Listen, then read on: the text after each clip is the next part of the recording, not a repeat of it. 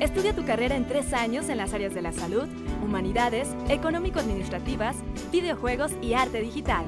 udemorelia.edu.mx, teléfono 317-7771. El secretario de Educación en Michoacán, Jesús Sierra Arias, negó que se haya prometido a los normalistas que se les van a entregar 1.200 plazas automáticas y dijo que el tema está en análisis. Es un reclamo que ellos están haciendo, no estoy ni avalándolas ni quitándoles el valor, simplemente estoy diciendo que es un tema que no hemos resuelto y que es un tema que está pendiente. Dijo que otra de las inconformidades de los normalistas es la reforma educativa e insistió que este es un tema federal y que tendrá que acatarse a los estados porque se trata de modificaciones a la Carta Magna.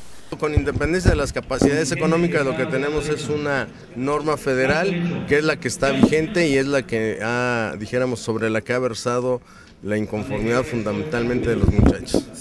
El funcionario de educación afirmó que el próximo encuentro con los normalistas se abordará el tema de las plazas automáticas. Con información de Dulce Arriaga, informa Coasar TV.